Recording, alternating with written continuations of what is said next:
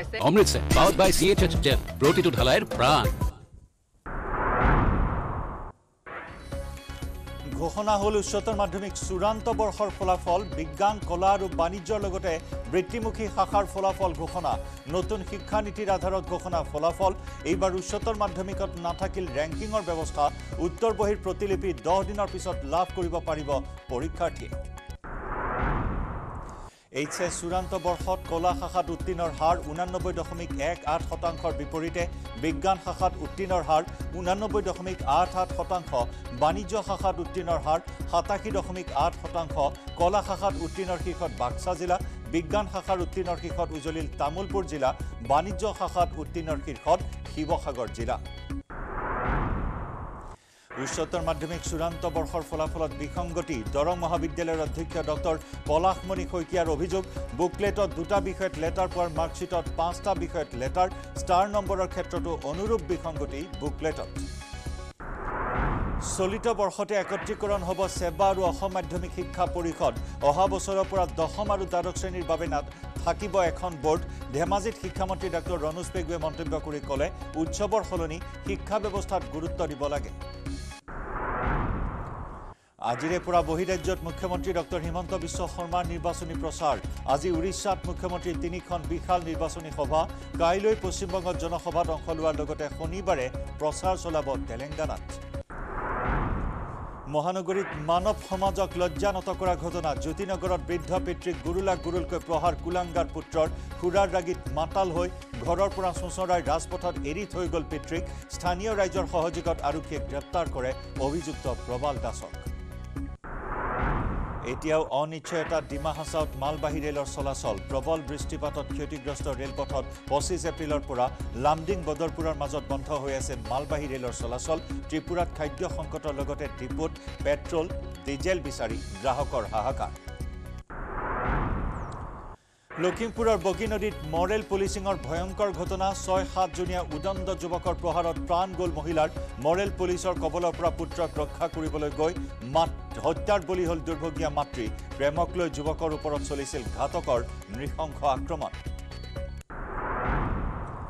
Air ইণ্ডিয়াৰ ত্ৰিছ কৰ্মচাৰীলৈ বৰ্খাস্তৰ জাননী। কেবিন ক্ৰুৰ কৰ্মচাৰীৰ বিৰুদ্ধে নিয়ম উলংঘনৰ অভিযোগ এয়াৰ ইণ্ডিয়াৰ দুদিন ধৰি অসুস্থতাৰ দোহাই দি ছুটি লোৱা কেবিন ক্ৰুৰ কৰ্মচাৰীৰ বাবে বাতিল হৈছিল নব্বৈখনৰো অধিক বিমানৰ চলাচল।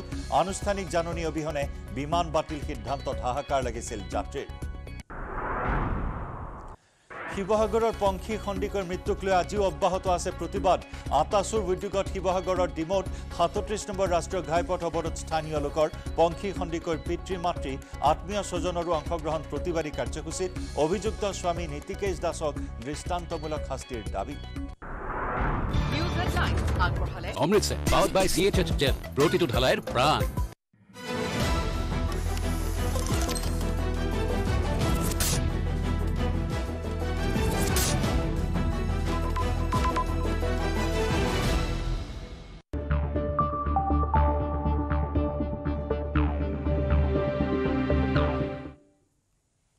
নমস্কাৰ আপুনি চাই আছে দুপৰৰ সংবাদ মই জয়ন্ত মাধৱ গোস্বামী। ঘোষণা কৰা হ'ল উচ্চতৰ মাধ্যমিক চূড়ান্ত পৰীক্ষাৰ ফলাফল। এইবাৰ উচ্চতৰ মাধ্যমিকত নাই শীৰ্ষস্থানৰ ব্যৱস্থা। নতুন শিক্ষা নীতিৰে প্ৰকাশ পালে উচ্চতৰ মাধ্যমিকৰ ফলাফল। শীৰ্ষস্থান নথকাক লৈ শিক্ষাৰ্থীৰ মাজত মিশ্ৰিত প্ৰতিক্ৰিয়া। আৰু এই ফলাফল অনুসৰি কলা শাখাত উত্তীৰ্ণৰ হাৰ হ'ল ঊনানব্বৈ দশমিক এক আঠ শতাংশ বিজ্ঞান শাখাত উত্তীৰ্ণৰ হাৰ ঊনানব্বৈ দশমিক আঠ আঠ শতাংশ বাণিজ্য শাখাত উত্তীৰ্ণৰ হাৰ সাতাশী দশমিক আঠ শতাংশ। বিগত বৰ্ষৰ তুলনাত এইবাৰ বৃদ্ধি পাইছে উত্তীৰ্ণৰ হাৰ। বিগত বৰ্ষৰ তুলনাত কলা শাখাত এইবাৰ উত্তীৰ্ণৰ হাৰ ঊনৈছ দশমিক শূন্য ছয় শতাংশ বৃদ্ধি পাইছে। দুহেজাৰ তেইছ বৰ্ষত কলা শাখাত উত্তীৰ্ণৰ হাৰ আছিল সত্তৰ দশমিক এক দুই শতাংশ। আমি কিছু তুলনামূলক এই মুহূৰ্তত তথ্য আগবঢ়াইছোঁ। বিগত বৰ্ষৰ ফলাফলতকৈ এইবাৰ যথেষ্ট ভাল উত্তীৰ্ণৰ হাৰ। এইবাৰ ফলাফল যথেষ্ট ভাল তিনিটা শাখাতে উত্তীৰ্ণৰ হাৰ বৃদ্ধি পাইছে বিগত বৰ্ষতকৈ। আমি আপোনালোকক জনাইছোঁ এই বৰ্ষৰ উত্তীৰ্ণৰ হাৰ তিনিওটা শাখাত। তামোলপুৰত বিজ্ঞান শাখাত শীৰ্ষত আছে উত্তীৰ্ণৰ হাৰেৰে বাণিজ্য শাখাত শীৰ্ষত আছে শিৱসাগৰ আৰু কলা শাখাত উত্তীৰ্ণৰ হাৰেৰে শীৰ্ষত আছে বাক্সা জিলা। শিৱসাগৰত বাণিজ্য শাখাত সাতান্নব্বৈ দশমিক চাৰি দুই শতাংশ উত্তীৰ্ণ হৈছে। কলা শাখাত উত্তীৰ্ণ ঊনানব্বৈ দশমিক এক আঠ শতাংশ। আৰু বিজ্ঞান শাখাত উত্তীৰ্ণৰ হাৰ হ'ল ঊনানব্বৈ দশমিক আঠ আঠ শতাংশ। আমি জনাইছোঁ দুহেজাৰ তেইছ বৰ্ষত কলা শাখাত উত্তীৰ্ণৰ হাৰ আছিল সত্তৰ দশমিক এক দুই শতাংশ। আৰু দুহেজাৰ তেইছ বৰ্ষতকৈ এইবাৰ যথেষ্ট ভাল কলা শাখাৰ উত্তীৰ্ণৰ হাৰ। আমি শিক্ষামন্ত্ৰীগৰাকীৰ ভাষ্য আগবঢ়াই ল'ম আৰু তাৰ পিছতে জনাম আপোনালোকক বিগত বৰ্ষৰ তুলনাত এইবাৰ কেনেকুৱা ধৰণৰ হৈছে ফলাফল। খুব ভাল ৰিজাল্ট হৈছে। Eighty eight point six four percent ছাত্ৰ ছাত্ৰী উত্তীৰ্ণ হৈছে। মই প্ৰথমে ছাত্ৰ ছাত্ৰীসকলক অভিনন্দন জনাইছোঁ। ফলাফল খুবেই আশাব্যঞ্জক। বিজ্ঞান শাখাত ninety percent above ninety percent হৈছে পাঁচ পাৰ্চেণ্টেজ গতিকে খুব ভাল যোৱা সময়খিনিত আমি যি এটা নিৰন্তৰ প্ৰচেষ্টা চলাই আছিলোঁ। মানে বিদ্যায়তনিক দিশত শিক্ষাদানৰ ক্ষেত্ৰত আমি উন্নতি কৰাৰ কাৰণে তাৰ ফলাফল আমি এইবাৰ লাভ কৰিছোঁ। আৰু এইবাৰ কাউন্সিলে এটা সিদ্ধান্ত ল'লে এক্সামিনেশ্যন কমিটিয়ে সিদ্ধান্ত লৈছে যে আমি পৰীক্ষা লওঁ ফলাফল ঘোষণা কৰোঁ। গতিকে আগত যিটো ৰেংক বা পজিশ্যন দিছিলে সেই ৰেংক বা পজিশ্যন নিদিয়াৰ তেওঁলোকে সিদ্ধান্ত লৈছে গতিকে ৰেংক পজিশ্যন দিয়া নাই। আমি চি বি এছ ইটো ৰেংক পজিশ্যন নাথাকে বা অন্য বহু ৰাজ্যৰ এনেকুৱা কোনো ব্যৱস্থা বা বিদেশতো এনেকুৱা কোনো ব্যৱস্থা নাই। গতিকে ফলাফলটো খুব ভাল ফলাফল মই সকলোকে অভিনন্দন জনাইছোঁ। মই এই অসম বেলি একাডেমীৰ ছাত্ৰী দুহেজাৰ তেইছ চৌবিছ বৰ্ষৰ এই ফলাফলৰ বাবে মই এই ছাত্ৰী মই বহুত গৌৰৱ অনুভৱ কৰিছোঁ। আজ- যদি ফলাফল ঘোষণা কৰিছে ৰেংক দিয়া নাই। ৰেংক নিদিয়াৰ বাবে আপোনালোকে আচলতে ৰেংক দিয়াকৈ সুখী নে অসুখী? সুখী আমি ৰেংক নাথাকিলেও ভাল লাগিছে। ভাল লাগিছে বহুত ভাল লাগিছে। মোৰ বহুত ভাল লাগিছে আৰু এনেকৈ যাতে ভৱিষ্যতেও হয় সেই আশা থাকিল। আচলতে ছাত্ৰ ছাত্ৰীয়ে ইয়াৰ পৰা প্ৰেৰণা লাভ কৰে। তথাপিও নিশ্চিতভাৱে চৰকাৰ আৰু শিক্ষা বিভাগৰ এইটো সুদূৰ প্ৰসাৰী সিদ্ধান্ত এই সিদ্ধান্তক আমি স্বাগতম জনাইছোঁ। নিশ্চিতভাৱে তেখেতসকলে ছাত্ৰ ছাত্ৰীৰ হিতৰ কাৰণে এই সিদ্ধান্ত লৈছে আমি স্বাগতম জনাইছোঁ। ভাল বেয়াৰ কথাটো তেনেকৈ ক'ব নোৱাৰি। মই আজিৰ দিনটোৰ অনুভৱখিনি খালি কৈছোঁ উৎসৱমুখৰ পৰিৱেশ যিটো হ'ব লাগিছিল সেইটো হোৱা নাই। নাজানো কিয় হাতে হাতে মানে হয়তো নিজে নিজে ঘৰত বহি ল'ৰা ছোৱালীয়ে ৰিজাল্ট ল'ব। অনুষ্ঠানভাৱে যিখিনি অনুষ্ঠান হিচাপত আমি যিখিনি গৌৰৱ কৰোঁ সেইটো এটা এটা কাৰণত আজিও কৰোঁ যে ল'ৰা ছোৱালী ভাল পাৰ্চেণ্ট পাবই আমাৰ। ৰাজ্যৰ ভিতৰত কলা শাখা চতুৰ্থ সেই তাক মানে আমি গৌৰৱ কৰিছোঁ বজালীবাসী হিচাপে গৌৰৱ কৰিছোঁ। ৰেংকিঙৰ ব্যৱস্থা নাই ৰখা। এই ক্ষেত্ৰত ব্যক্তিগতভাৱে মই জনাব বিচাৰিছোঁ যে মই সুখী যিহেতু এক নম্বৰ বা দুই নম্বৰ কাৰণে কোনোবা ছাত্ৰ বা ছাত্ৰী যেতিয়া ৰেংকৰ পৰা বিৰত হয় তেতিয়া তেওঁলোকে এটা দিনৰ কাৰণে হ'লেও মানসিকভাৱে বৰ হতাশ হৈ পৰে। গতিকে ৰেংকিঙৰ ব্যৱস্থা নাৰাখি যিটো ব্যৱস্থা কৰিছে ইয়াক মই আদৰণি জনাইছোঁ কাউন্সিলক যিহেতু আমি ভাবোঁ যে আমাৰ ছাত্ৰ ছাত্ৰীসকল নাইণ্টি নাইন পইণ্ট নাইন পালেও যিজন ছাত্ৰৰ যিটো উপযুক্ততা নাইণ্টি নাইন পাৰ্চেণ্ট পালেও একেই। গতিকে মই এইটো ক্ষেত্ৰত কাউন্সিলক আদৰণি জনাইছোঁ। আৰু বিগত বৰ্ষৰ তুলনাত এইবাৰ বৃদ্ধি পাইছে উত্তীৰ্ণৰ হাৰ। কলা শাখাত আমি দুহেজাৰ পোন্ধৰ চনৰ এই তথ্য আগবঢ়াইছোঁ। দুহেজাৰ বিছ চনৰ তথ্য আছে দুহেজাৰ একৈছ চন দুহেজাৰ বাইছ চন দুহেজাৰ তেইছ চনৰ তথ্য এই মুহূৰ্তত আমি আগবঢ়াইছোঁ। আৰু বিগত বৰ্ষৰ তুলনাত এইবাৰ ঊনৈছ দশমিক শূন্য ছয় শতাংশ বৃদ্ধি পাইছে উত্তীৰ্ণৰ হাৰ। দুহেজাৰ তেইছ বৰ্ষত কলা শাখাত উত্তীৰ্ণৰ হাৰ আছিল সত্তৰ দশমিক এক দুই শতাংশ আৰু এইবাৰ কলা শাখাত উত্তীৰ্ণৰ হাৰ ঊনানব্বৈ দশমিক এক আঠ শতাংশ। দুহেজাৰ পোন্ধৰ চনত কলা শাখাত উত্তীৰ্ণৰ হাৰ আছিল চৌসত্তৰ দশমিক শূন্য সাত শতাংশ। দুহেজাৰ ষোল্ল চনত কলা শাখাত উত্তীৰ্ণৰ হাৰ আছিল ঊনাশী দশমিক ন দুই শতাংশ। দুহেজাৰ সোতৰ চনত তেসত্তৰ দশমিক এক ছয় শতাংশ। দুহেজাৰ ওঠৰ চনত চৌসত্তৰ দশমিক ছয় আঠ শতাংশ। দুহেজাৰ ঊনৈছ চনত পঁয়সত্তৰ দশমিক এক চাৰি শতাংশ। দুহেজাৰ বিছ চনত আঠসত্তৰ দশমিক দুই আঠ শতাংশ। দুহেজাৰ একৈছ চনত আঠান্নব্বৈ দশমিক ন তিনি শতাংশ। দুহেজাৰ বাইছ চনত তিৰাশী দশমিক চাৰি আঠ শতাংশ আৰু দুহেজাৰ তেইছ চনৰ কথা আমি ইতিমধ্যে জনাইছোঁ সত্তৰ দশমিক এক দুই শতাংশ আছিল আৰু এইবাৰ কলা শাখাত উত্তীৰ্ণৰ হাৰ ঊনানব্বৈ দশমিক এক আঠ শতাংশ। এয়া কলা শাখাৰ খবৰ আমি জনালোঁ। আমি বিজ্ঞান শাখাৰ উত্তীৰ্ণৰ হাৰ তুলনামূলকভাৱে বিগত বৰ্ষত কিমান আছিল সেয়া জনাইছোঁ। এয়া দুহেজাৰ পোন্ধৰ চন দুহেজাৰ পোন্ধৰ চনৰ তথ্য আমি আগবঢ়াইছোঁ।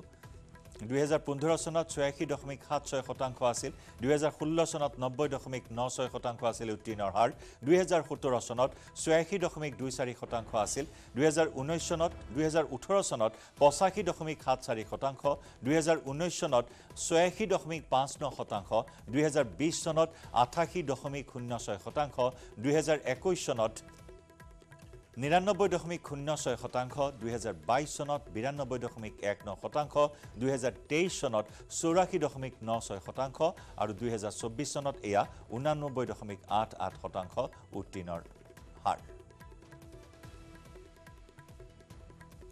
লগতে বাণিজ্য শাখাটো বিগত বৰ্ষৰ তুলনাত এইবাৰ বৃদ্ধি পাইছে উত্তীৰ্ণৰ হাৰ। দুহেজাৰ তেইছৰ তুলনাত এইবাৰ বাণিজ্য শাখাত উত্তীৰ্ণৰ হাৰ আঠ দশমিক দুই তিনি শতাংশ বৃদ্ধি পাইছে। দুহেজাৰ পোন্ধৰ চনত একাশী দশমিক আঠ দুই শতাংশ আছিল উত্তীৰ্ণৰ হাৰ দুহেজাৰ ষোল্ল চনত ছয়াশী দশমিক শূন্য এক শতাংশ দুহেজাৰ সোতৰ চনত বিৰাশী দশমিক সাত দুই শতাংশ দুহেজাৰ ওঠৰ চনত চৌৰাশী দশমিক ছয় চাৰি শতাংশ দুহেজাৰ ঊনৈছ চনত সাতাশী দশমিক পাঁচ ন শতাংশ দুহেজাৰ বিছ চনত আঠাশী দশমিক এক আঠ শতাংশ দুহেজাৰ একৈছ চনত নিৰান্নব্বৈ দশমিক পাঁচ সাত শতাংশ দুহেজাৰ বাইছ চনত সাতাশী দশমিক দুই সাত শতাংশ আৰু দুহেজাৰ তেইছ চনত ঊনাশী দশমিক পাঁচ সাত শতাংশ আৰু চলিত বৰ্ষত আজি ঘোষণা কৰা বাণিজ্য শাখাত উত্তীৰ্ণৰ হাৰ হৈছে সাতাশী দশমিক আঠ শতাংশ।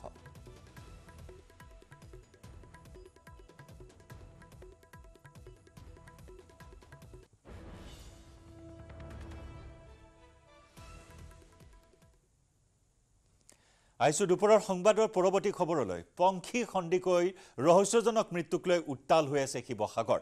শিৱসাগৰৰ ডিমৌত সাতত্ৰিছ নম্বৰ ৰাষ্ট্ৰীয় ঘাইপথ অৱৰোধ কৰিছে ৰাইজে। আটাচুৰ উদ্যোগত প্ৰতিবাদ কৰিবলৈ ওলাই আহিছে শ শ লোক। পংখী সন্দিকৈৰ পিতৃ মাতৃ আত্মীয় স্বজনে অংশগ্ৰহণ কৰে এই প্ৰতিবাদী কাৰ্যসূচীত। স্বামী নীতিকেশ দাসক দৃষ্টান্তমূলক শাস্তিৰ দাবী জনালে প্ৰতিবাদী ৰাইজে। ইফালে শিৱসাগৰৰ আৰক্ষীয়ে তদন্তত হেমাহি কৰাৰ অভিযোগ উত্থাপন কৰিছে পংখীৰ পৰিয়ালৰ লোক আৰু স্থানীয় ৰাইজে।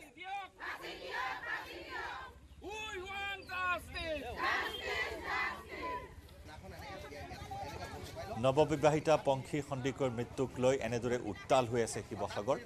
শিৱসাগৰৰ ডিমৌত সাতত্ৰিছ নম্বৰ ৰাষ্ট্ৰীয় ঘাইপথ অৱৰোধ কৰি ৰাইজে আজিও উত্তাল প্ৰতিবাদ সাব্যস্ত কৰিছে হাতে হাতে পংখীৰ প্ৰতিচ্ছবি লৈ। পংখীৰ ন্যায় বিচাৰি ৰাজপথলৈ ওলাই আহিছে ৰাষ্ট্ৰীয় ঘাইপথ অৱৰোধ কৰিছে আটাচুৰ উদ্যোগত। পংখী সন্দিকৈৰ পিতৃ মাতৃ আত্মীয় স্বজনে অংশগ্ৰহণ কৰে এই প্ৰতিবাদী কাৰ্যসূচীত। স্বামী নীতিকেশ দাসক দৃষ্টান্তমূলক শাস্তিৰ দাবী জনাইছে প্ৰতিবাদী ৰাইজে। আনহাতে আৰক্ষীৰ বিৰুদ্ধে উঠিছে গুৰুতৰ অভিযোগ। শিৱসাগৰ আৰক্ষীয়ে তদন্তত হেমাহি কৰাৰ অভিযোগ উত্থাপন কৰি ৰাইজ যথেষ্ট সৰব হৈ উঠিছে। শিৱসাগৰৰ পৰা আমাৰ সাংবাদিক প্ৰদীপ গগৈৰ সৈতে সংযুক্ত হৈছোঁ। প্ৰদীপ এতিয়াও পংখীৰ ন্যায় বিচাৰি হাহাকাৰ কৰিবলগীয়া হৈছে ৰাষ্ট্ৰীয় ঘাইপথ অৱৰোধ কৰি প্ৰতিবাদী কাৰ্যসূচী ৰূপায়ণ কৰিবলগীয়া হৈছে আজি আত্মীয় স্বজন দল সংগঠনে। সবিশেষ আপোনাৰ পৰা জানিব বিচাৰিম। প্ৰদীপ। হয় জয়ন্ত মই বৰ্তমান উপস্থিত আছোঁ শিৱসাগৰৰ জিলাৰ ডিমৌ চাৰিআলিৰ সাতত্ৰিছ নং ৰাষ্ট্ৰীয় ঘাইপথত আৰু পংখী সন্দিকৈ মৃতদেহ যোৱা তিনি মে'ত নামৰূপ থাৰ্মেলৰ এটা কোৱাৰ্টাৰত উদ্ধাৰ হৈছিলে। আৰু সেই পংখী সন্দিকৈ মৃত্যুৰ যি ৰহস্যজনক মৃত্যু তাত সেই মৃত্যু তথা ইয়াক হত্যাকাণ্ড আচলতে হত্যাৰ কাণ্ডটোক আত্মহত্যাৰ ৰূপ দিবলৈ চেষ্টা কৰা বুলি অভিযোগ উত্থাপন হৈছে। আৰু এই হত্যাকাণ্ড পংখী সন্দিকৈ এ, আচলতে স্বামী নীতিকেশ দাসে হত্যা কৰা বুলি অভিযোগ উত্থাপন কৰি আজি এই ধৰণে অ, শিৱসাগৰত দেখিছে যে শ শ লোক ওলাই আহিছে ঘাইপথ অৱৰোধ কৰিছে। আৰু আৰক্ষীয়ে এই তদন্তত আচলতে গাফিলতি কৰা বুলি গুৰুতৰ অভিযোগ উত্থাপন হৈছে। মই মই ইয়াত আৰু পংখী সন্দিকৈ আত্মীয় স্বজন আছে তেওঁৰ পিতৃ আছে তেওঁৰ ভগ্নী আছে। মই পোন- পোনে পংখী সন্দিকৈ ভগ্নী আছে তেওঁৰ পৰা জানিব বিচাৰিম। কি দেখিছে আপোনালোকে? আমি- গৈ পোৱাৰ আগতে তেওঁলোকে বাইদেউক নমালে তাৰ পৰা তাৰপিছত তাৰপিছত তাৰে পুলিচ বিষয়া এজনে মোক মোক এজাহাৰ লিখিবলৈ দিছে। বেলেগ বেলেগ আগতে লিখা আছিলে মানে বেলেগৰ এখন চাই পিনি মোক লিখিবলৈ দিছে। তাৰপিছত তাতে তেওঁ কিছুমান কথা মই লিখিছোঁ। তাৰ তাৰ পুলিচ বিষয়াজনে মোক লিখিবলৈ কৈছিলে। তাৰ পুলিচ বিষয়াজনে মোক লিখিবলৈ ক'লে তেনেকে। মানে বেলেগ এখন আগতে বেলেগ কোনোবাই দিয়া এজাহাৰ চাই চাই লিখিবলৈ দিলে। তাৰপিছত তাতে তেওঁ কিছুমান কথা ভৰাই দিছে তাৰপিছত তেওঁ কৈ গৈছে মই লিখি গৈছো। চুটলিপি দিছে মই লিখিছা। অঁ। অ, হয় এয়া শুনিছে জয়ন্ত যে আৰক্ষীয়ে যি যিমতে কৈছিলে সেইমতেই আৰক্ষীয়ে কোৱা মতে লিখিছিলে। এইগৰাকী কণমানি পংখী সন্দিকৈ ভগ্নী তেওঁৰ বিশেষ এই বিষয়ে নাজানে কিন্তু আৰক্ষী চুটলিপিৰ মতে লিখিলে এজাহাৰ। আৰু যাৰ বাবে ইয়াত সুৰুঙা আচলতে সুবিধা লৈছে বুলি অভিযোগ উত্থাপন হৈছে। বসন্ত গগৈ আছে আটাচুৰ কেন্দ্ৰীয় সভাপতি। কি ক'ব? অন্যায় হৈছে অবিচাৰ হৈছে। আৰু যিজন আই অ' নীলকমল বৰুৱা তেখেতে এই দৰিদ্ৰ বুলি প্ৰেছাৰ দি আপ- আপোনালোকে নিজেই শুনিছে যে হেৰি এজাহাৰ লিখাইছে। আৰু হত্যাকাণ্ডটো আত্মহত্যা ৰূপ দিবলৈ প্ৰয়াস কৰিছে নীলকান্ত দেউৰী নীলকান্ত নীলকমল বৰুৱা আৰু দুৰ্ণকান্ত দেউৰী উপ আৰক্ষী অধীক্ষক। এওঁলোকে গোটেই বিষয়টো এটা বেলেগ এটা ৰূপলৈ নিবলৈ চেষ্টা কৰিছে। গতিকে এই ক্ষেত্ৰত আমি অসমৰ মাননীয় মুখ্যমন্ত্ৰী আৰু ডি জি পি মহোদয় হস্তক্ষেপ দাবী কৰিছোঁ। আৰু তেখেতলোকক যদি এই দোষী পুলিচ বিষয়াকেইজনক অনাগত এই কেইদিনমানৰ ভিতৰত যদি তেখেতক চাকৰি পৰা নিলম্বন নকৰে তেতিয়া অহা তিনিদিনৰ ভিতৰত সদৌ টাইম টাইম শিৱসাগৰ জিলা বন্ধ দিব। আৰু জিলা বন্ধ দিয়াৰ পিছ মুহূৰ্তত যদি আমি সমগ্ৰ ন্যায় যদি নাপাওঁ সমগ্ৰ অসম বন্ধ আমি ঘোষণা কৰিম। মোক তেনেকে একো কোৱা নাই। তাৰ অচিজনে এতিয়া কি বিচাৰা তোমালোকে? তেওঁ ফাঁচি দিব লাগে। আমাৰ বাইদেউ যেনেকে মাৰিছিলে আমাৰ বাইদেউক যেনেকে মাৰিছিলে সিও তেনেকে মৰিব লাগে। শোকত ভাগি আছে ম্ৰিয়মান হৈ আছে কিন্তু তাৰ মাজতো তদন্তত গাফিলতি যিহেতু দেখি তেওঁলোকে অনুমান কৰিছে তদন্তত গাফিলতি হৈছে যাৰ বাবে তেওঁলোকে এই ধৰণে প্ৰতিবাদ কৰিবলৈ ওলাই আহিছে। মই দেখুৱাইছোঁ ইয়াত জ্যেষ্ঠ নাগৰিকসকল ওলাই আহিছে গাঁৱৰ ইয়াৰ হাতে হাতে প্লে কাৰ্ড লৈ তেওঁলোক শোকত ভাগি আছে। কি ক'ব? কৰক। আৰু নীতিকাজ দাসক ফাঁচি দিয়াৰ ব্যৱস্থা কৰক। মোৰ নাতি নাতিটো মাৰিলে তাই ঘূৰাই নাপাওঁ। পংখীহানি এনেকুৱা পংখীহানি কৰি বহুত আছে। মোৰ নাতি আছিলে। এনেকুৱা পংখী আৰু আছে জন্ম লৈছে বহুত পংখী আছে। তেওঁলোকে যাতে এনেকুৱা বলি পঠা হ'ব নালাগে। তাৰে তাৰে বিচাৰ কৰক। তেওঁৰ দৌতিয়েক ওলাই আহিছে। আচলতে আৰু তেওঁৰ পিতৃ আছে। সকলো শোকত ভাগি আছে কিন্তু তাৰ মাজতে প্ৰতিবাদ কৰিবলৈ ওলাই আহিছে বাধ্য হৈ পৰিছে। তেওঁৰ পিতৃ আছে পংখী সতিকৈ। কি ক'ব এই মুহূৰ্তত? ফাঁচি দিয়াটোৱে হ'ব। যদি আইনে বিচাৰ ভালদৰে নকৰে আমি আপোনালোকৰ সহযোগত উচ্চ ন্যায়ালয় উচ্চতম ন্যায়ালয়লৈ আপোনালোকৰ সহযোগত যাম বুলি ভাবিছোঁ। যাতে পংখী লিখি আৰু এজনী পংখীক হত্যা কৰিব নোৱাৰে। নীতিকেশ দা- নীতিকেশ দাসৰ লিখীয়া যাতে আৰু এটা দানৱৰ সৃষ্টি নহয় সেইটোৱে ক'বলৈ। কিন্তু এটা কথা মই আপোনালোকৰ থোৰেদি জনাব পাৰিছোঁ আপোনালোকৰ হৈ- হয়দি যে পুলিচে তেওঁৰ মোবাইলটো সাপে খাটিৰ পৰা নামৰূপলৈ গৈ থাকোঁতে পংখীলৈ ফোন কৰি আছিলে। তাৰপিছত তেওঁ মোবাইলটো ভাগিলে বুলি কৈছে। আৰু পংখীৰ মোবাইলটোত চিমটো তাৰ চিমটো নীতিকেশ দাসৰ চিমটো ভৰাই ল'বলৈ কেনেকৈ পালে আৰু তেওঁৰ মোবাইলটো ক'লৈ গ'ল? সেই মোবাইলটো উদ্ধাৰ কৰাৰ ব্যৱস্থাটো কৰিব লাগে আপোনালোকৰ জৰিয়তে দল সংগঠনৰ জৰিয়তে। হয় এয়া উচিত তদন্তৰ দাবী কৰিছে মই দেখুৱাইছোঁ বৰ্তমান সাতত্ৰিছ নং ৰাষ্ট্ৰীয় ঘাইপথৰ দৃশ্য। ইয়াত শ শ লোক ওলাই আহিছে হাতে হাতে প্লে কাৰ্ড আৰু শ্লোগান লিখিছে যে ন্যায় লাগে ন্যায় লাগে পন্থী পংখী সন্দিকৈ হত্যাকাণ্ডৰ উচিত তদন্ত লাগে। এই দাবীৰে আজি শিৱসাগৰৰ এই ডিমৌ দেখা গৈছে যে বহু সংখ্যক জনতা ওলাই আহিছে আৰু সাতত্ৰিছ নং ৰাষ্ট্ৰীয় ঘাইপথ অৱৰোধ কৰিছে। মই দেখুৱাইছোঁ বহু সময় ধৰি সাতত্ৰিছ নং ৰাষ্ট্ৰীয় ঘাইপথ অৱৰোধ হৈ আছে। এই আন এফালে যান বাহনৰ ইয়াত যান যান জঁটৰ সৃষ্টি হৈছে সেয়াও আন এটা সুকীয়া বিষয়। কিন্তু এই মুহূৰ্তত সকলোৰে প্ৰশাসনৰ কোনো লোক আহিছে নে নাই তেওঁলোকক আশ্বস্ত কৰা হৈছে নে নাই এইখিনি মুহূৰ্তত যিকেইটা দাবী লৈ তেওঁলোকে প্ৰতিবাদত বহিছে তেওঁলোকক ন্যায় লাগে। শিৱসাগৰ আৰক্ষীৰ হেমাহিৰ গুৰুতৰ অভিযোগ উত্থাপন হৈছে।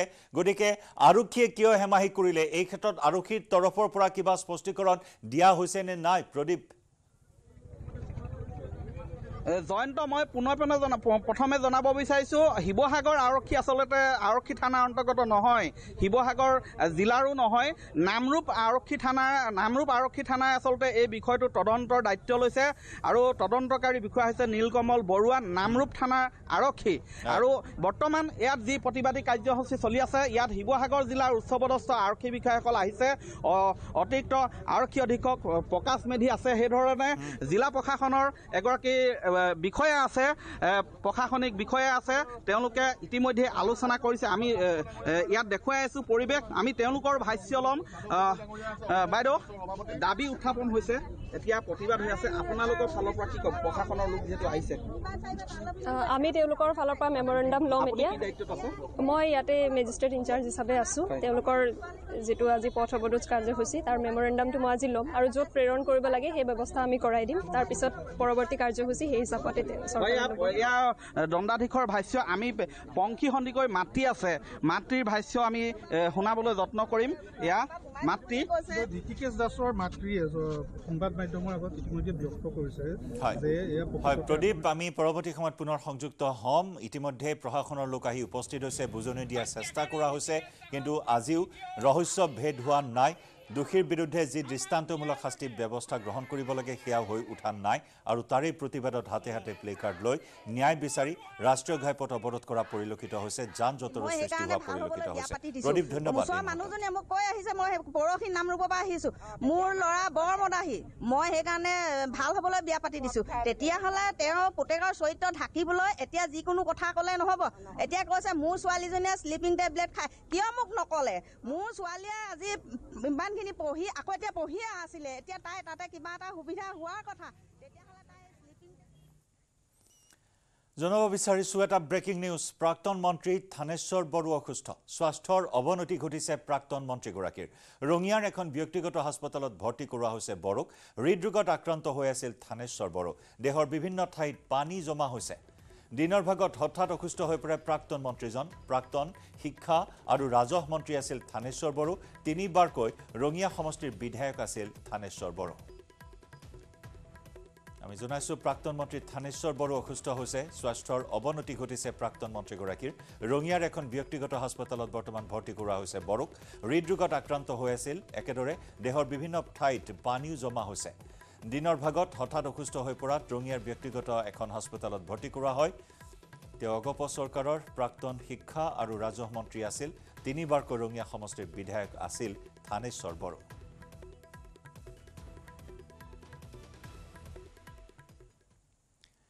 মহানগৰীত সংঘটিত হৈছে মানৱ সমাজক লজ্জানত কৰা এটা ঘটনা। বামুণী মৈদামৰ জ্যোতিনগৰত কুলাংগাৰ পুত্ৰৰ হাতত ধৰাশায়ী হ'ল বৃদ্ধ পিতৃ। কাঠৰ টুকুৰাৰে গুৰুলা গুৰুলকৈ প্ৰহাৰ বৃদ্ধ পিতৃক সুৰাৰ ৰাগীত মাতাল হৈ পুত্ৰ প্ৰবাল দাসে সংঘটিত কৰে এই কাণ্ড। ইমানেই নহয় পিতৃক ঘৰৰ পৰা চোঁচৰাই আনি ৰাজপথত পেলাই থৈ যায় কুলাংগাৰ পুত্ৰ প্ৰবাল দাসে। পৰৱৰ্তী সময়ত স্থানীয় লোকে আঘাতপ্ৰাপ্ত বৃদ্ধগৰাকীক উদ্ধাৰ কৰি ঘৰলৈ লৈ যায়। নিশাই অভিযুক্ত প্ৰবাল দাসক গ্ৰেপ্তাৰ কৰে চানমাৰী আৰক্ষীয়ে। ইফালে এই নিৰ্লজ্জ কাণ্ডৰ পাছতে অভিযুক্ত তথা পাষাণ পুত্ৰ প্ৰবাল দাসৰ উচিত শাস্তিৰ দাবী জনাইছে স্থানীয় ৰাইজে। আমি দৃশ্য দেখুৱাইছোঁ এক হৃদয় বিদাৰক দৃশ্য। নিজৰ পুত্ৰৰ হাতত নিৰ্যাতিত হৈ আৰ্তনাদ কৰিবলগীয়া হৈছে অসহায় এইগৰাকী বৃদ্ধই। প্ৰবাল দাস সুৰাৰ দাগীত মাতাল হৈ কুলাংগাৰ পুত্ৰই এনেদৰে ঘৰত ফলা বাঁহেৰে কোবাই নিৰ উপৰ্যুপৰি প্ৰহাৰ কৰি চোঁচৰাই আনি ৰাজপথত পেলাই থৈ গ'ল। স্থানীয় লোকে উদ্ধাৰ কৰি ঘৰলৈ লৈ আনে এইগৰাকী অসহায় লোকক। ইতিমধ্যে নিশাৰ ভাগত কুলাংগাৰ পুত্ৰ প্ৰবাল দাসক আৰক্ষীয়ে গ্ৰেপ্তাৰ যোৱাকালি প্ৰায় তিনিমান বজাত চাগে তেখেতৰ পিতৃ হয় বুলি আমি গম পাইছোঁ। ইয়াত ৰাজপথ কি কাৰণে লাগিছে সেয়া আমি গম নাপাওঁ কিন্তু ৰাজপথত উলিয়াই আনি কেনে মাৰিছে আৰু ডাঙৰ কাঠৰ বাটাম এডালেদি মাৰিছে তেখেতক। বহুত বেয়াকৈ মাৰিছে পিঠিত আৰু মূৰতো আঘাত পাইছে। তেখেতে কান্দি কান্দি কৈছিলে কিছুমান কথা এতিয়া কি বা হয় সেয়াটো মই নাজানো। কি বুলি কৈছিল তেওঁ? মানে তেখেতে বোৱাৰীয়েকৰ কাৰণে মাৰা বুলি কৈছে। কিন্তু এতিয়া গম নাপাওঁ আৰু ইমানখিনি। বহুত বেয়াকৈ মাৰিছে। তাৰপিছত তেখেতৰ ছোৱালী আছিলে চাগে। তেখেতৰ ছোৱালীক ফোন কৰিছে। ফোন কৰাৰ পিছত তেখেতৰ ছোৱালী আহিছে। আমাৰ ইয়াৰে কিছুমান মানুহে মানে আৰক্ষী বিষয়াক ফোন কৰিলে আহিলে আৰক্ষী বিষয়াই উদ্ধাৰ কৰি লৈ গ'ল। ক'ত থাকে? ঘৰতে নাছিলে নাছিলে তেখেত আমি জনামতে আৰু এগৰাকী শিক্ষক বুলি গম পাওঁ। তেখেতে হয়তো চাকৰিত যাবও পাৰে। মাক দেউতাক বুলি হয়তো চিনি নেপায় চাগে তেখেতে। আৰু মই কওঁ চশমাযোৰ আগে পাইছিলে নে চকু দুটা আগে পাইছিলে যদি বোৱাৰীয়েকৰ কাৰণে মাৰিছে তেখেতে এবাৰ ভাবিব লাগিছিল যে চকু দুটাৰ বাবেহে মই চশমাযোৰ পিন্ধিব পাৰিছোঁ।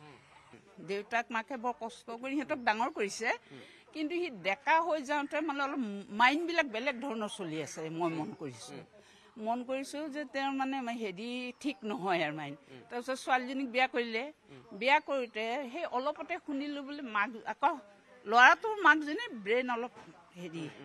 এই ভাত খুজিব যাওঁতে বোলে একেবাৰে গালি পাৰি বোৱাৰীয়েকে উলিয়াই দিছে। আমি এই সন্দৰ্ভত আগবঢ়াম আমাৰ সতীৰ্থ সাংবাদিক অসীম দত্তৰ প্ৰতিবেদন। নিশ্চয়কৈ মহানগৰীত যিহেতু শেহতীয়াকৈ পুনৰ আন এক লজ্জানত ঘটনা সংঘটিত হৈছে সভ্য সমাজক শিহৰিত কৰা বা সভ্য সমাজক লজ্জানত কৰা আন এক ঘটনা এতিয়া জোকাৰি গৈছে গুৱাহাটী মহানগৰ। গুৱাহাটী মহানগৰৰ মই এই মুহূৰ্তত উপস্থিত আছোঁ জ্যোতিনগৰৰ লুইত পথত আৰু জ্যোতিনগৰৰ এই যিটো লুইত পথ আৰু এই লুইত পথৰ এই যিখন ঘৰৰ সন্মুখভাগত আমি উপস্থিত আছোঁ এই ঘৰখন এই মুহূৰ্তত চৰ্চা চৰ্চিত হৈ পৰিছে বা চৰ্চা লাভ কৰিছে। কাৰণ কালিৰ দিনটোত অৰ্থাৎ বুধবাৰে দিনৰ ভাগত এগৰাকী পুত্ৰৰ হাতত এগৰাকী পুত্ৰই গুৰুলা গুৰুলকৈ প্ৰহাৰ কৰিলে নিজৰে পিতৃক। বিভিন্ন লোক আছে বিভিন্ন লোকৰ সৈতেও মই কথা পাতিবলৈ চেষ্টা কৰিম। এজন দাদা আছে এজন স্থানীয় লোক আছে সচেতন এগৰাকী লোক আছে। এইসকল লোকৰ বাবে আচলতে কালি বৃদ্ধ যিগৰাকী পিতৃ সেই বৃদ্ধ পিতৃগৰাকীয়ে ৰক্ষা পালে বা বৃদ্ধ পিতৃগৰাকীয়ে সকাহ পালে। গতিকে মই তেওঁৰ ওচৰলৈ আহিম। আহ, কি ক'ব দাদা? অকণমান যদি আগলৈ আহে। একো নহয় অকণমান আগলৈ হওক। কি ক'ব বিচাৰিব? কালি এই ঘটনা সংঘটিত হৈছে সমাজক লজ্জানত কৰা ঘটনা সংঘটিত হৈছে। আপোনালোকৰ হয়তো বাবেই বৃদ্ধ পিতৃগৰাকীয়ে হয়তো ৰক্ষা পালে। কি ক'ব? কি হৈছিল? গোটেইটো ডিটেইলছটো নাজানো আমি কিন্তু আমি পিছত গম পালোঁ। কিন্তু যিখিনি কাম কৰিছে সেইটো একদম লজ্জাজনক বেয়া কাম কৰিছে। মানে আমি অফিচ আছিলতো আমি এই নাছিলোঁ ভিডিঅ'ত পালোঁ। ভিডিঅ'ত পোৱাৰ পিছতহে আমি গম পালোঁ যে এনেকুৱা হ'ল তাৰপিছত আহিলোঁ। তাৰপিছততো নায়ে তাৰপিছত পুলিচ আহি লৈ গ'ল তেখেতক কিন্তু যিখিনি কাম হৈছে সেইখিনি ভাল কাম হোৱা নাই। কিন্তু বিৰাট লজ্জাজনক কাম কৰিছে সেইখিনি আপুনিও এজন যুৱক। আপোনাৰো পিতৃ আছিল বা পিতৃ আছে। কি ক'ব? আচলতে দহ মাহ দহ দিন এগৰাকী মাতৃয়ে পুত্ৰ পুত্ৰই হওক বা সন্তানটিক নিজৰ সন্তানটিক এগৰাকী মাতৃয়ে বহু কষ্টৰ মূৰত জন্ম দিয়ে। তাৰপিছত দেখিবলৈ পোৱা যায় পিতৃগৰাকীৰ বহু কষ্ট ত্যাগ নিহিত হৈ থাকে। শিক্ষিত কৰে মানুহ কৰে। এইটো আচলতে এইটো মানুহ মতে কৰিব নিলে জন্তু জন্তুবিলাকে কৰে এইবিলাক কাম আগতে এনেকুৱা ঘটনা সংঘটিত হৈ থাকে নেকি আগতেতো জানাত হোৱা নাই এই ফাৰ্ষ্ট হৈছে এনেকুৱা। ল'ৰা ছোৱালীয়ে সুৰাপান কৰে? সেনে জানা বুজাত নকৰে কিন্তু। ইমান নকৰে কিন্তু কেতিয়াবা কৰে যদি কৰিব পাৰে কিন্তু আমি জানাত কিন্তু নকৰে কিন্তু। তেওঁ কি কিহত চাকৰি কৰে? তেওঁ কি চাকৰি কৰে নে বিজনেছ চিজনেছ কৰে কিবা কিবি কিন্তু ইমান আমাৰ লগত ধৰক ইমান টাৰ্মছ নাই। এনে মাত বোল হয় হাই হাই হ'লেও হয় তাত বাহিৰে ইমান মানে হেৰি নাই আৰু। সিহঁতো নোলায় বা ঘৰৰ বাহিৰত নাহেও এনেকৈ বাহিৰ ভিতৰতে থাকে। কিন্তু মদ খোৱাটো আমি দেখা নাই কৰা যিহেতু আৰক্ষী গ্ৰেপ্তাৰ কৰিছে আপুনি কি ক'ব বিচাৰিব? এজন সচেতন লোক হিচাপে যিহেতু আপোনালোকৰ বাবে বৃদ্ধ পিতৃগৰাকীয়ে ৰক্ষা পালে কি ক'ব বিচাৰিব? মোৰ মতে উচিত শাস্তি শাস্তি দিব লাগে। এইটো মাইথান ষ্টীল নহয়। অঁ ওচৰ চুবুৰীয়াসকলে লগাইছে।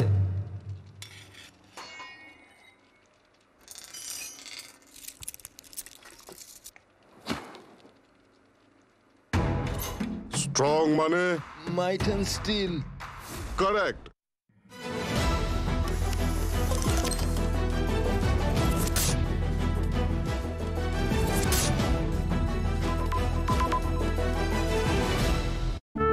কাৰ্বি পাহাৰ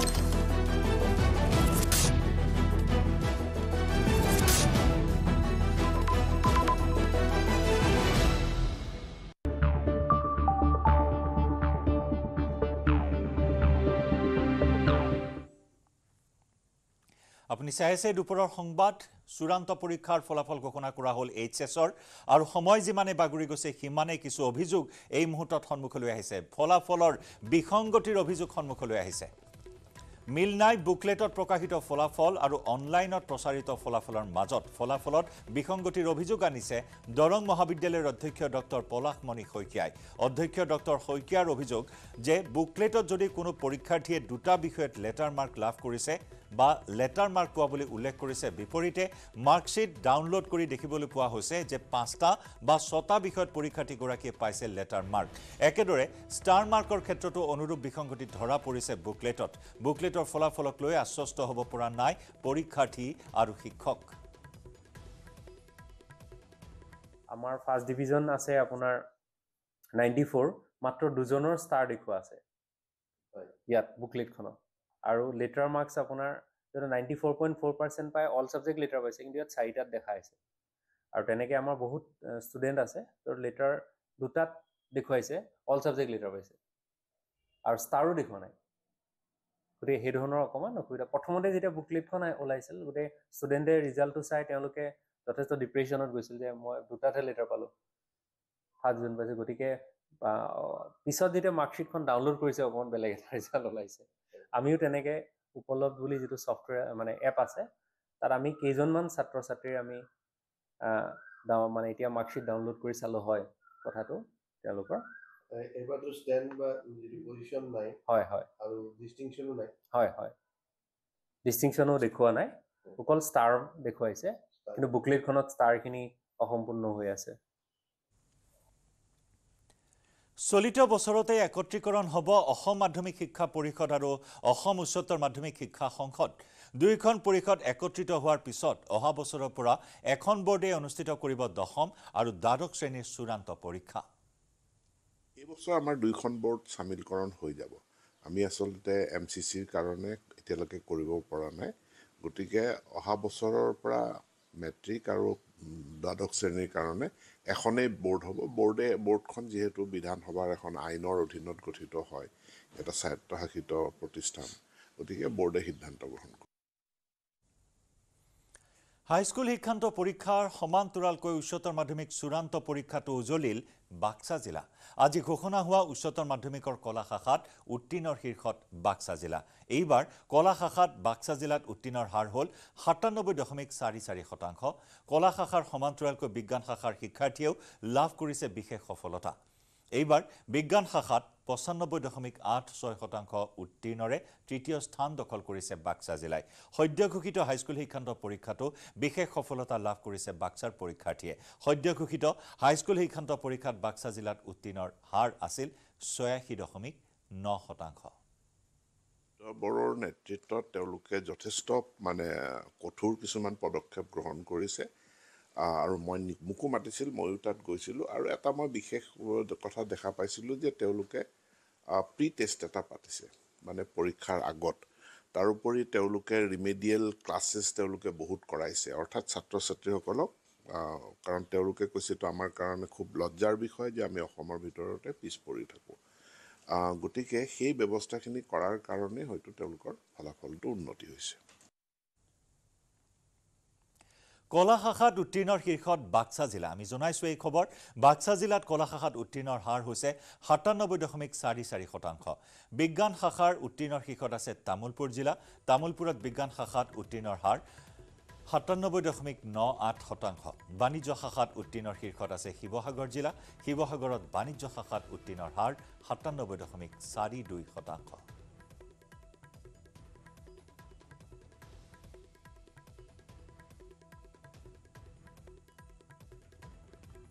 বিজ্ঞান শাখাত ৰাজ্যৰ ভিতৰতে প্ৰথম স্থান লাভ কৰিছে তামোলপুৰ জিলাই আৰু এই মুহূৰ্তত আমি আগবঢ়াম তামোলপুৰৰ পৰা আমাৰ সাংবাদিক নয়নজ্যোতি দাসৰ প্ৰতিবেদন। হয় বহু প্ৰত্যাশিত উচ্চতৰ মাধ্যমিক চূড়ান্ত পৰীক্ষাৰ ফলাফল ঘোষণা হোৱাৰ পিছতে এক আনন্দৰ বন্যা বৈছে। আৰু মই বৰ্তমান উপস্থিত আছোঁ তামোলপুৰত। আৰু উল্লেখনীয় বিষয় যে অসমৰ ভিতৰতে তামোলপুৰ জিলা বিজ্ঞান শাখাত সৰ্বোচ্চ নম্বৰ লাভ কৰিবলৈ সক্ষম হৈছে। মোৰ কেমেৰা সহযোগীয়ে ইয়াৰ পৰিৱেশ দেখুৱাব মোৰ ওচৰত। মই বৰ্তমান উপস্থিত আছোঁ তামোলপুৰ উচ্চতৰ মাধ্যমিক বিদ্যালয়ত আৰু তামোলপুৰ উচ্চতৰ মাধ্যমিক বিদ্যালয়ৰ এনেদৰে শিক্ষক শিক্ষয়িত্ৰীসকল মোৰ সন্মুখত আছে মোৰ কেমেৰা সহযোগীয়ে দেখুৱাই আছে। বিজ্ঞান শাখাত তামোলপুৰ জিলাখন সৰ্বপ্ৰথম হোৱাৰ পিছতে ইয়াত এক আনন্দৰ বন্য বৈছে আৰু মই পোনে পোনে ইতিমধ্যে তামোলপুৰ উচ্চতৰ মাধ্যমিক বিদ্যালয়ৰ অধ্যক্ষ যি আছে বিভূতি ডেকা ছাৰ। মই তেখেতৰ ওচৰলৈ গৈ তেখেতৰ মনোভাৱ জানিবলৈ যত্ন কৰিম। ছাৰ কি ক'ব? হয় আজি আমি খুবেই আনন্দিত। আমি আজি বহুদিনৰ পৰা অপেক্ষা কৰি আছিলোঁ আৰু আমি ইয়াতকৈ বেছি ভাল আশা কৰিছিলোঁ।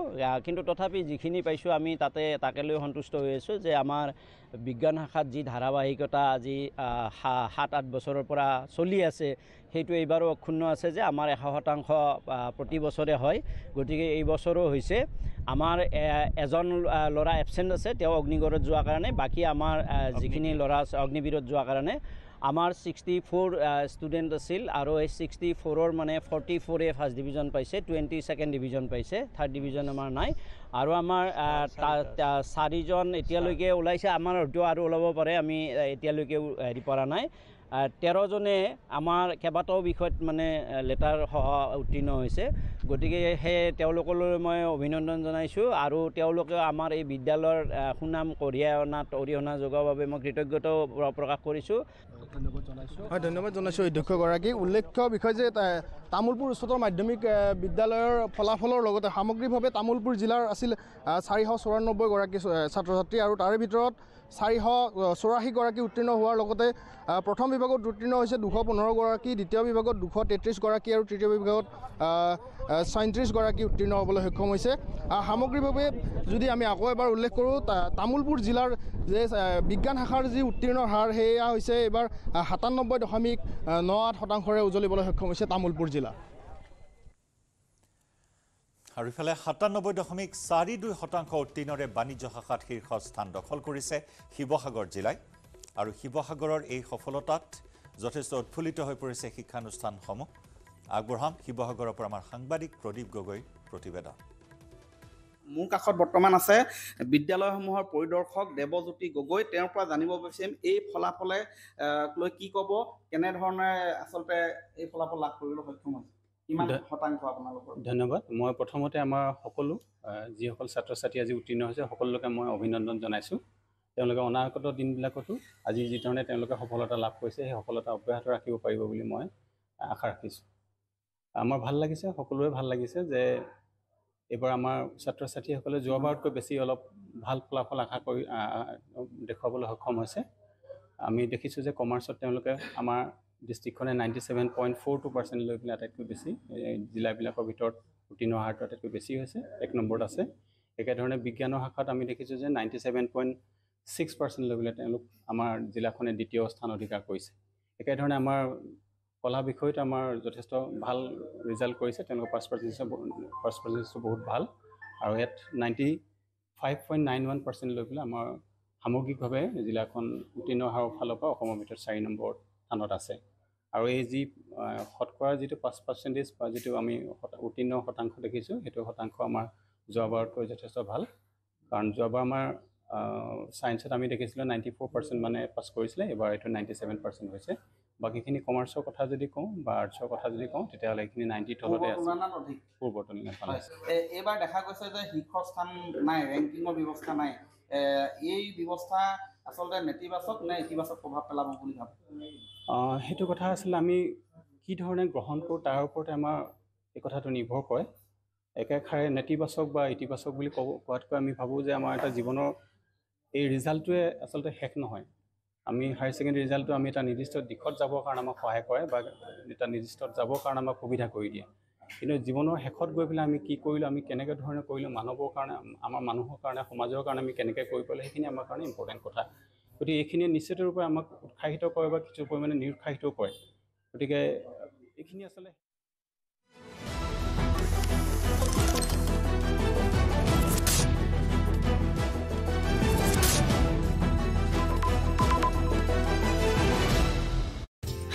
মন্দিৰ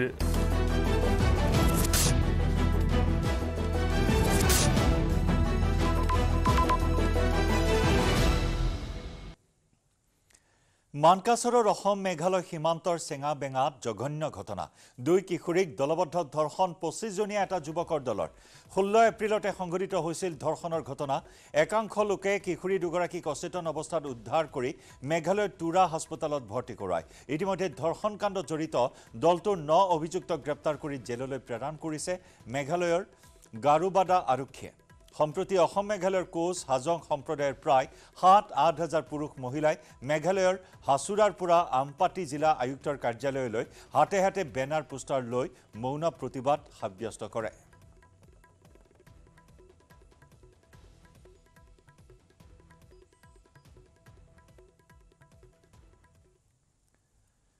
কৰিমগঞ্জৰ কালীগঞ্জত গ্ৰাম্য পথ বিবাদক কেন্দ্ৰ কৰি দুই পক্ষৰ মাজত তীব্ৰ সংঘাত। শিশুসহ দুগৰাকী মহিলাকে ধৰি কমেও পোন্ধৰজন লোক আহত হৈছে। কল কালীগঞ্জৰ উত্তৰ বালেশ্বৰ গাঁৱত সংঘটিত হয় এই ঘটনা। অভিযোগ অনুসৰি বিবদমান এটা পথত এটি শিশুৱে খোজ কঢ়াক লৈ সংঘাতৰ সূত্ৰপাত ঘটে। প্ৰথমে তৰ্ক লাগে আৰু তাৰ পিছতে দুয়ো পক্ষৰ মাজত মাৰপিটৰ ঘটনা সংঘটিত হয়। এই ঘটনাত দুয়ো পক্ষৰ কেইবাজনো লোক আহত হৈছে। পৰৱৰ্তী সময়ত আৰক্ষী উপস্থিত হৈ পৰিস্থিতি নিয়ন্ত্ৰণ কৰে জানিব পৰা অনুসৰি এটা গ্ৰাম্য পথক লৈ বিগত ডেৰ বছৰ ধৰি বিবাদ চলি আছে আদালতত। পুৰণি কাজিয়াৰ আঁত ধৰি কণমানি শিশুটিক আক্ৰমণ কৰাত পৰিস্থিতি বেয়াৰ ফালে ঢাল খায় আৰু এই ঘটনাত এঘাৰজন লোকৰ বিৰুদ্ধে ৰুজু কৰা হৈছে গোচৰ।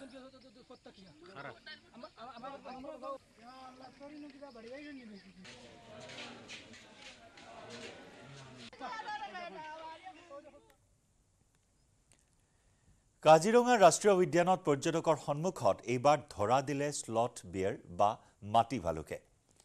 ৰাষ্ট্ৰীয় উদ্যানখনৰ কহৰা বনাঞ্চলত দৰ্শনৰত বহিৰাজ্যৰ পৰ্যটকসকলক পুনৰ ৰোমাঞ্চিত কৰিলে। একে সময়তে পথৰ ওপৰত খোজকাঢ়ি আহি থকা ঢেকীয়াপতীয়া দেখি অভিভূত হৈ পৰিল পৰ্যটকসকল। এই সমগ্ৰ দৃশ্য বন্দী হ'ল টুৰিষ্ট গাইড তকিব আলীৰ কেমেৰাত। উল্লেখযোগ্য যে কাজিৰঙা ৰাষ্ট্ৰীয় উদ্যান মাটি ভালুকৰ আৱাসস্থলী যদিও অতি কম সংখ্যক পৰ্যটকেহে স্বচক্ষে প্ৰত্যক্ষ কৰিবলৈ পায় মাটি ভালুক। অৱশ্যে পূৰ্বতেও একাংশ পৰ্যটকে দেখিবলৈ পাইছিল দুৰ্লভ এই প্ৰাণীটো। এতিয়া কাজিৰঙাৰ দুহেজাৰ তেইছ চৌব্বিছ পৰ্যটন বৰ্ষৰ অন্তিম সময় আৰু মাত্ৰ পাঁচ দিনৰ পাছতে অন্ত পৰিব পৰ্যটন বৰ্ষ। কিন্তু এই অন্তিম সময়ছোৱাত পৰ্যটকৰ বাবে অতি উপভোগ্য হৈ পৰিছে সেউজ বননিৰ মাজত বন্যপ্ৰাণীৰ বিচৰণৰ দৃশ্য। আনহাতে চলিত পৰ্যটন বৰ্ষটোত পৰ্যটকৰ দৃষ্টিত পৰিল বহু সংখ্যক দুৰ্লভ বন্যজন্তুৰ বিচৰণৰ মনোমোহা দৃশ্য। এয়া শ্লথ বিয়াৰ বা মাটি ভালুক এনেদৰে পথ অতিক্ৰম কৰাৰ মনোমোহা দৃশ্য বন্দী কৰিলে টুৰিষ্ট গাইড তকিবে।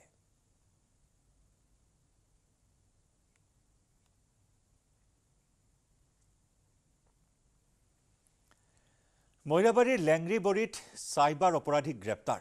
ইয়াকে লৈ দুই পক্ষৰ মাজত প্ৰচণ্ড মাৰপিটৰ ঘটনা। কুখ্যাত চাইবাৰ অপৰাধী মানিজ আলী ওৰফে মাইনুল মুন্সিক গ্ৰেপ্তাৰ কৰিছে। আন এটা চাইবাৰ অপৰাধী ফখৰুল ইছলামৰ বিৰুদ্ধেও অভিযোগ অভিযান চলাইছিল মৈৰাবাৰী আৰক্ষীয়ে।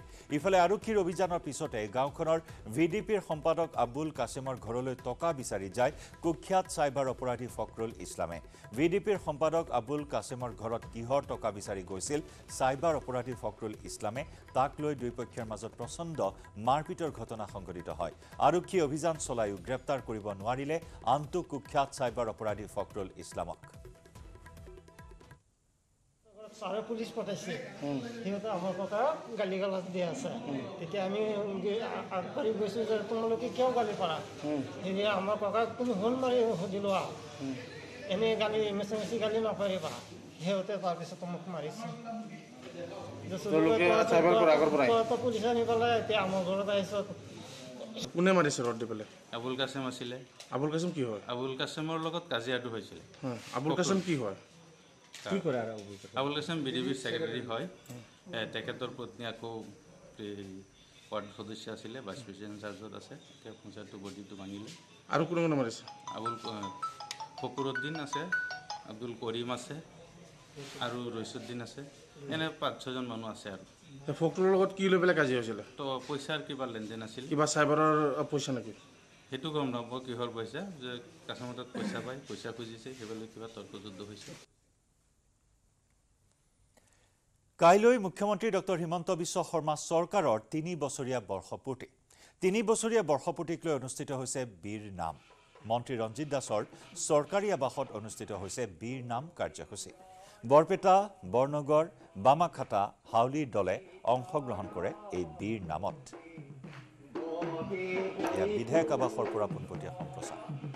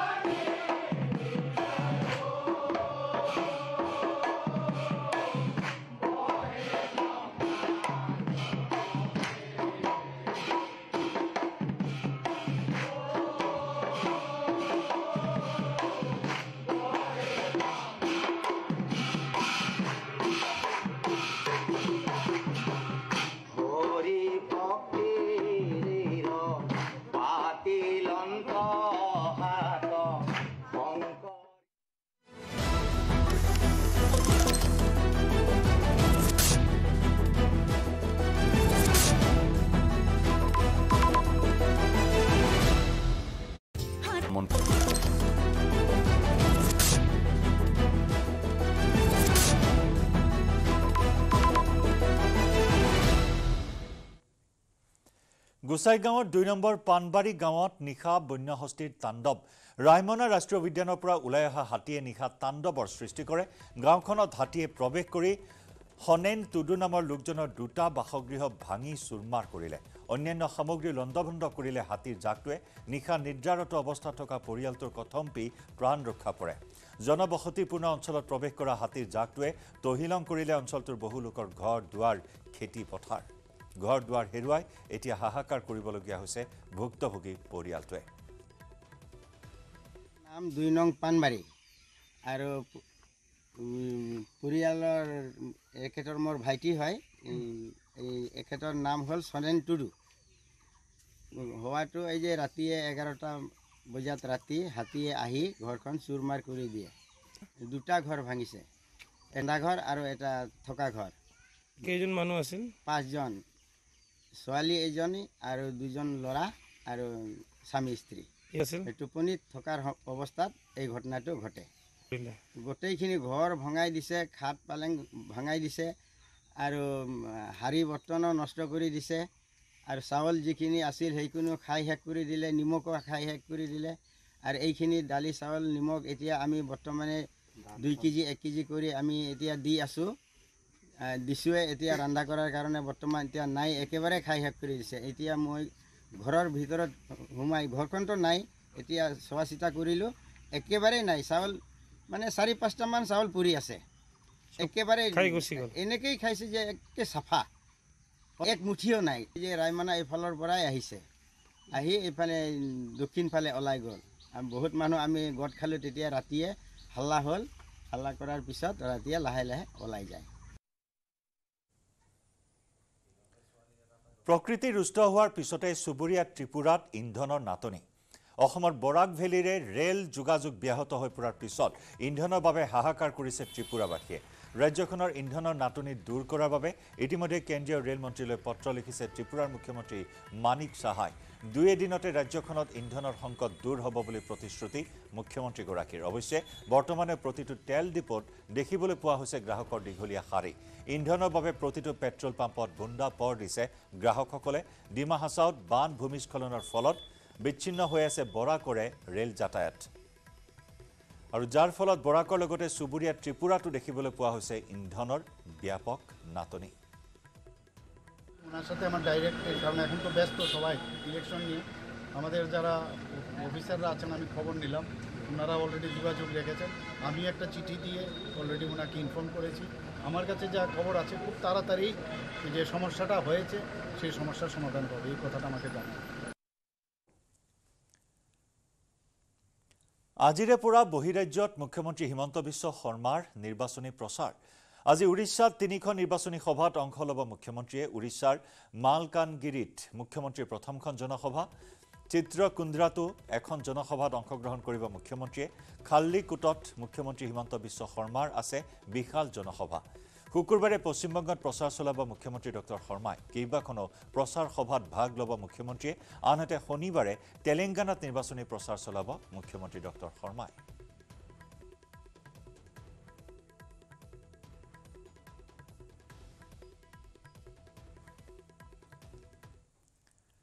মহানগৰীৰ জি এম চি এইচত পাহাৰত নাহৰ ফুটুকীৰ মুক্ত বিচৰণ। দিনত নাহৰ ফুটুকীৰ পোৱালীৰ বিচৰণ নিশা প্ৰকাণ্ড নাহৰ ফুটুকীৰ মুক্ত বিচৰণক লৈ আতংকিত হৈ পৰিছে অঞ্চলবাসী।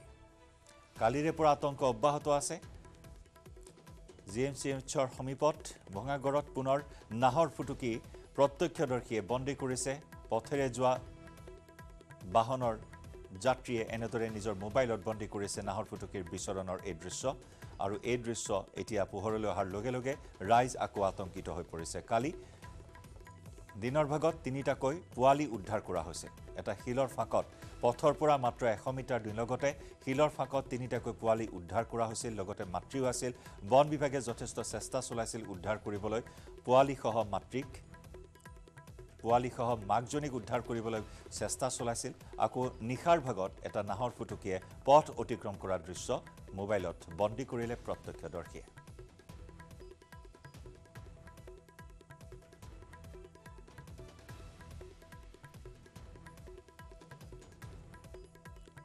আজিৰ পৰা কিছুদিন পূৰ্বে বন বিভাগে পিঞ্জৰা স্থাপন কৰিছিল। সেই পিঞ্জৰাত নাহৰ ফুটুকী বন্দী হৈছিল পিঞ্জৰাবদ্ধ হৈছিল আৰু তাৰ পিছত ৰাইজে স্বস্তিৰ নিশ্বাস এৰিছিল। যদিও পুনৰ নাহৰ ফুটুকীৰ আতংকই দেখা দিছে ভঙাগড় অঞ্চলত।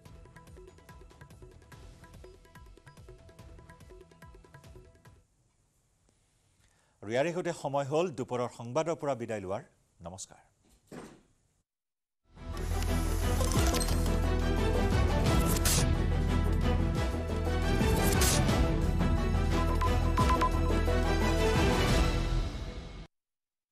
নিৰ্বাচনৰ ফলাফল